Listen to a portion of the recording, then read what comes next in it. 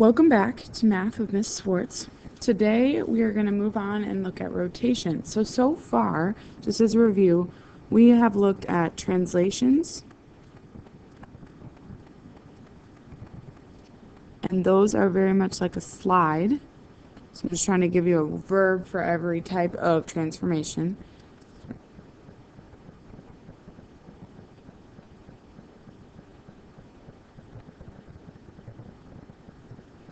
And we've looked at reflections. It's like a flip, flips over a point. Okay, so rotations, the, the verb we're looking for is a turn. Okay, we turn it about an area or around an axis point or around the center of rotation. So we're going to look at rotations today. Rotations can be a little bit more tricky just because um, sometimes it's hard to visualize where it should be on the graph. But luckily, we kind of have the easiest rotations that we have to learn today, and we're not focusing too much on other types of rotations. So there's a trick to it, but if you know the trick, it's pretty simple. So let's go ahead and get started. Let's just talk about rotations. Yes, you have to write this down. So a rotation or turn is the transformation in which a figure is rotated about a point called the center of rotation. So there's always going to be a point where you're rotating around. You can actually rotate around any point. Today we're only going to rotate a around the origin, which makes life a lot easier. The number of degrees a figure rotates in an angle of rotation is called the angle of rotation. So today we're also only going to rotate 180 80 degrees around the origin, which again makes our life a lot simpler. But a lot of times when you're talking about rotating, you're going to be talking about one of these three options 90 degrees, 180 degrees, 270 degrees, and 360. 360 is going to bring you back to where you started, but you can kind of think of it when we're rotating it in the origin as kind of your quadrants that we talked about. And then you can also rotate clockwise or counterclockwise. Now when you're rotating either 180 or 360, these two don't really matter because either way is going to get you to the same spot. So it doesn't really matter if you're going cl clockwise or counterclockwise, but if we're talking 90 or 270, you'd have to know which direction you're moving. So in a rotation, the original figure and its image are going to be congruent. You're not making it bigger or smaller. You're just turning it. And we're going to look at an example of maybe working with a rotation that's not 180 right now, just looking at it and just understanding that you can rotate a figure however many degrees it asks you to. We're just not going to be doing that specifically today. So this puzzle piece, we're rotating it 270 degrees clockwise. Okay, so again, remember, think about in, in, in a quadrant. So if your puzzle piece here was like this, just ignore my terrible drawing okay? 270 degrees clockwise. We'll first talk about clockwise. Look at a clock. You're going to be moving this way, okay? And you're going to be rotating 270 degrees. And each time you rotate 90, which is going to be in a quadrant, you're going to be turning it on its side. So when you turn it to, to this first one, 90 degrees, you're going to be looking at this. Okay. And then 180 degrees is going to be across from it.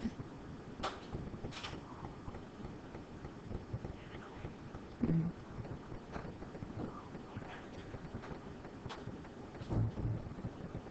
And it'll look something like that. Doing my best here on the puzzle pieces. And then if you turn it again,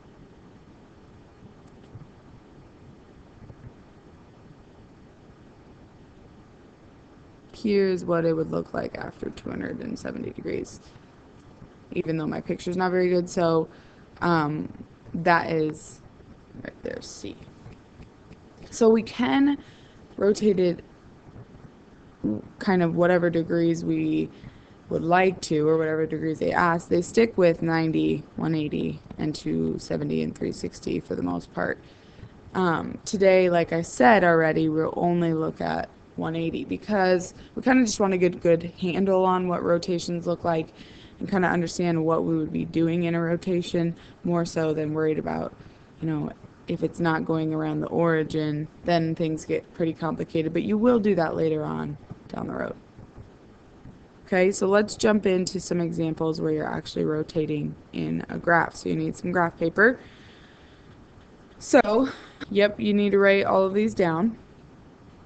It says the vertices of a trapezoid are listed. Rotate the trapezoid 180 degrees about the origin. What are the coordinates of the image? So we're going to first graph the original figure. So we got negative 4, 2. It's W. I like to make sure that you write the labels with these because it makes your life a little bit easier down the road. There's X. And Y. And Z.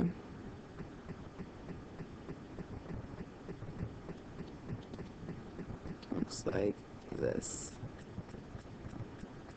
Okay, so if we're going to picture this 180 degrees, remember it doesn't matter what direction, we're going to end up in the same quadrant. So if you think about it 180 degrees, if you were to turn your paper, it doesn't really matter, but 180 degrees, this would be 90, and then this would be 180. Okay, even if you went this way, this would be 90, and this would be 180.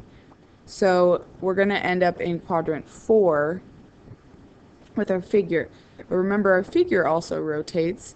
So we have to think about, okay, if I rotate it, what side is it kind of going to end up on?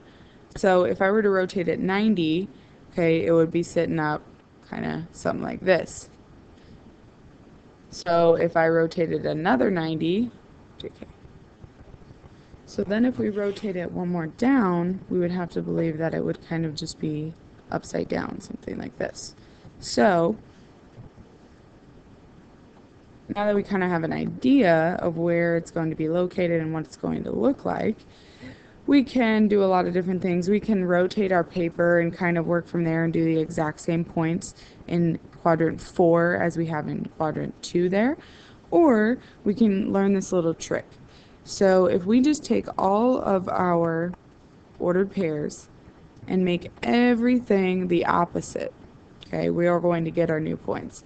So negative 4 becomes positive 4. 2 becomes negative 2.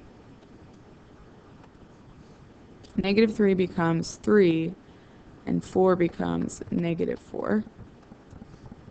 Negative 1 becomes 1, and 4 becomes negative 4. And negative 1 becomes 1, and 2 becomes negative 2. So let's check this out. Based on the picture that we kind of came up with in our head, if this looks like what we were thinking. So 4, negative 2, 3, negative 4,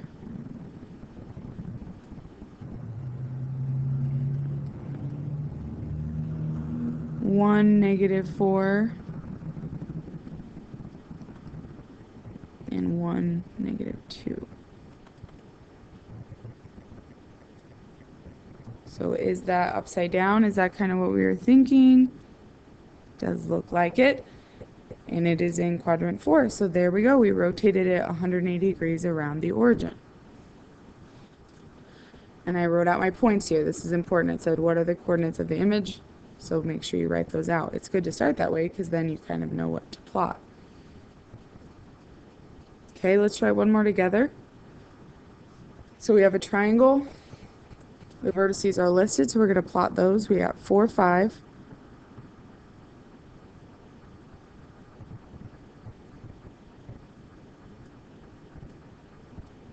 That's Q. 4, 0. That's R. And one zero. That's S. Okay, so there's our triangle. Straight edges aren't working very well. Okay, we want to rotate 180 degrees. So we're in quadrant one. If we were to go this way, 90, boom, we'd be here. If we were to go this way, boom, boom. So we're going to be in quadrant three. Kind of the same idea. If I flip it this way, the bottom part's going to be here. And then when we get it 180 degrees, it's going to be upside down is kind of what I want to think there. So Q prime would be negative 4 negative 5. R is going to be negative 4, 0. We don't have negative 0. And S is going to be negative 1, 0. So let's plot these points. Negative 4, negative 5. Q prime. Negative 4, 0. Negative 1, 0. R prime and S prime. There we go. There it is rotated. So again, all I did was switch all of my points to the opposite. Okay, I'm going to have you try this one on your own and then come show us. So again, just change all your points to your opposite because you're just rotating 180 degrees about the origin. When you're done with that, come get your notes checked um, and have a wonderful Monday.